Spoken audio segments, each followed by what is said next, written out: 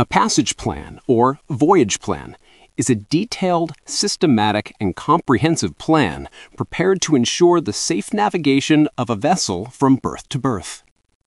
It covers every stage of the voyage, from departure, through coastal and ocean passages, up to the final approach and berthing at the destination port.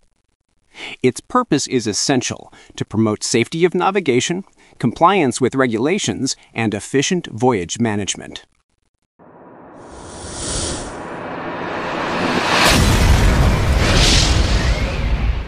The responsible officer in charge of making the passage plan is the master, but on most merchant vessels, the preparation is normally delegated to the second officer.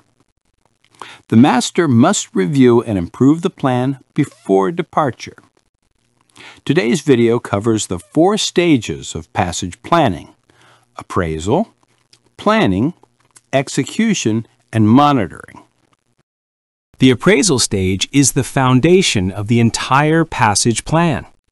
At this stage, the navigator collects, reviews, and evaluates all relevant information needed for the intended voyage, identifying navigational hazards and other factors that may affect the ship's safety.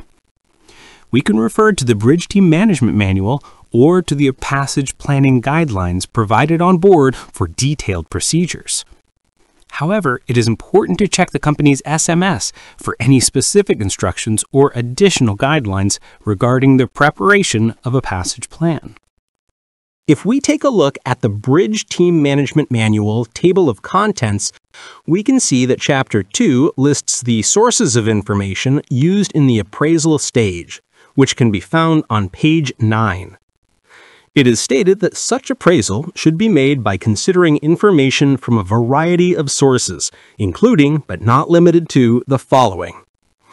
Not all of these sources will be necessary for every passage or voyage, but this list serves as a comprehensive checklist to ensure that all essential information is considered before planning the route. Let's have a brief discussion on the following sources of information listed, starting from the chart catalog. This publication lists all available navigational charts and their limits, scales, and additions.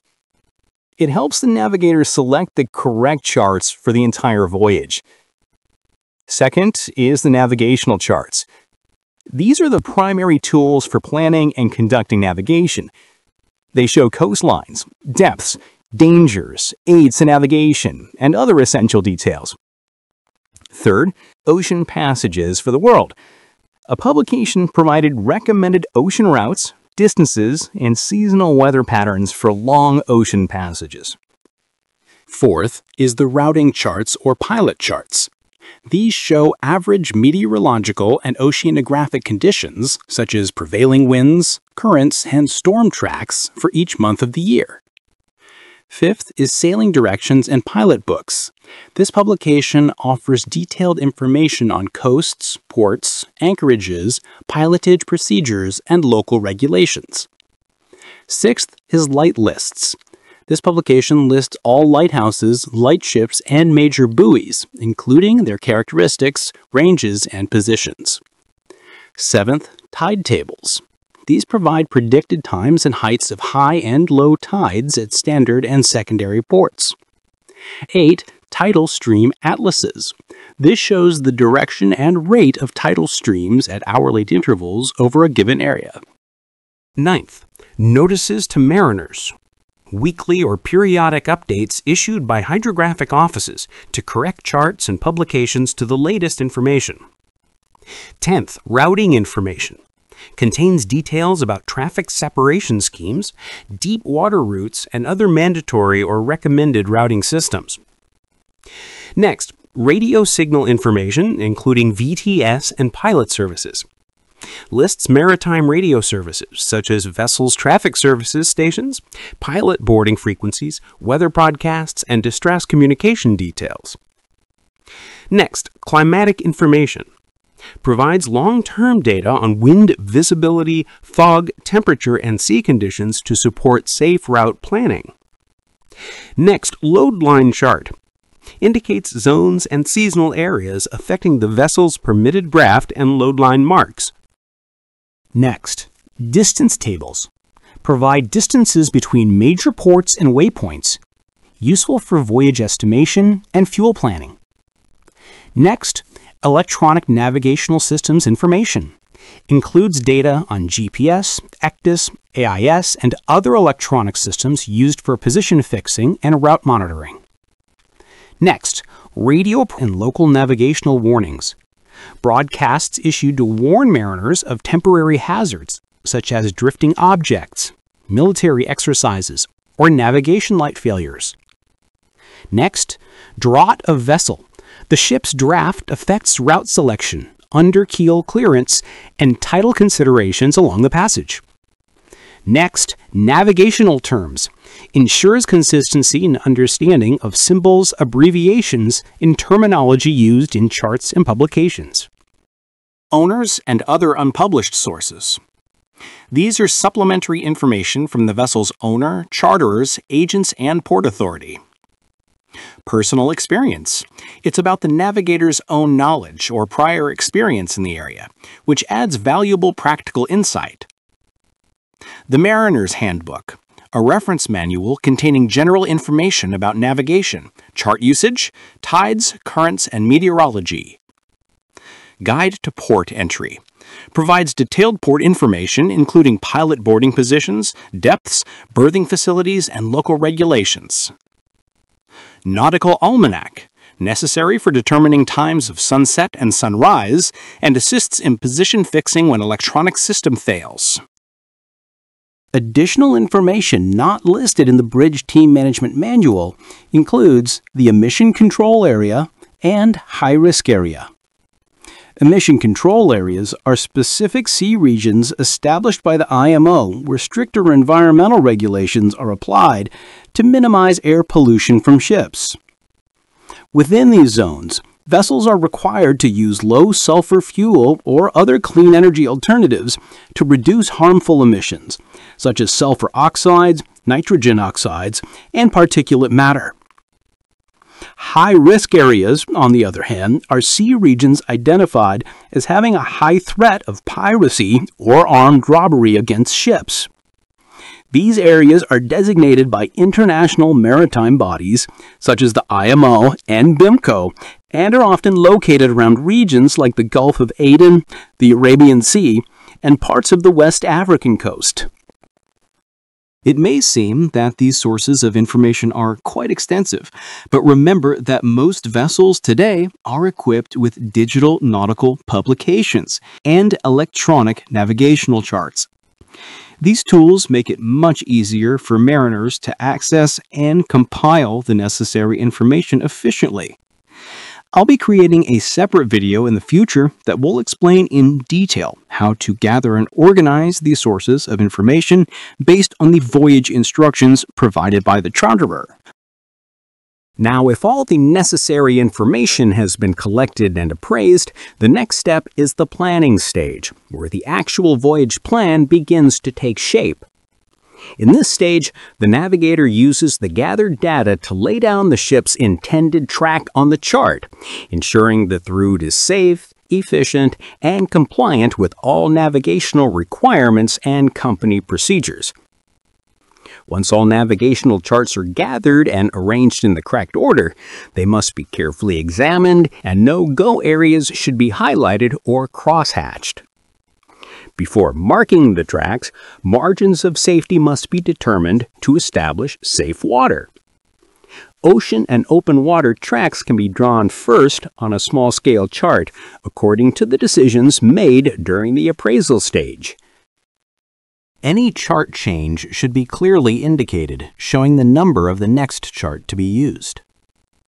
When navigating close to danger, track consideration must be applied, ensuring that minimum safety rules are followed to keep the vessel within safe water and that a proper distance off danger is maintained. Regulations concerning offshore distances must also be observed.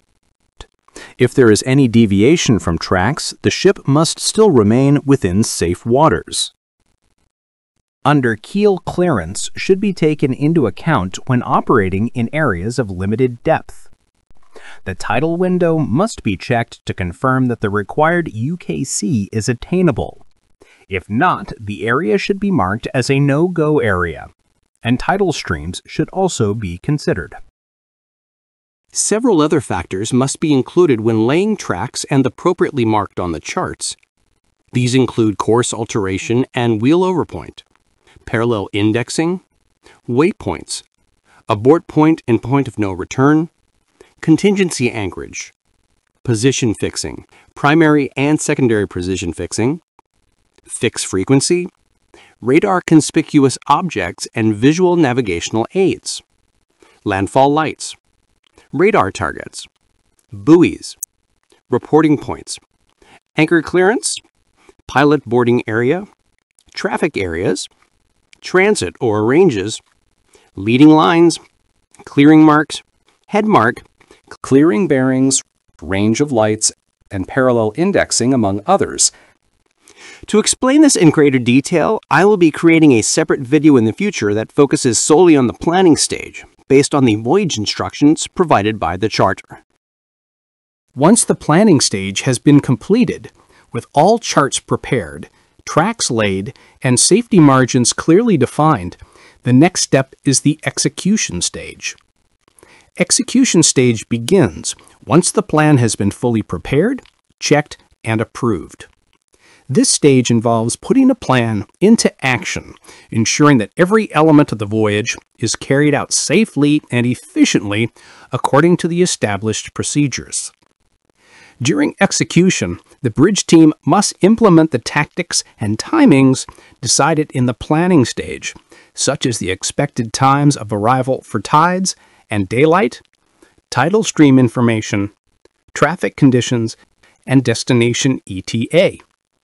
The plan may be adjusted as needed to reflect real-time conditions like weather, current, or traffic. Any modification should still ensure that the ship remains within safe water and complies with company and international regulations. Before departure, a bridge team briefing must be conducted. This is an essential step to ensure that every team member understands the passage plan and their individual responsibilities.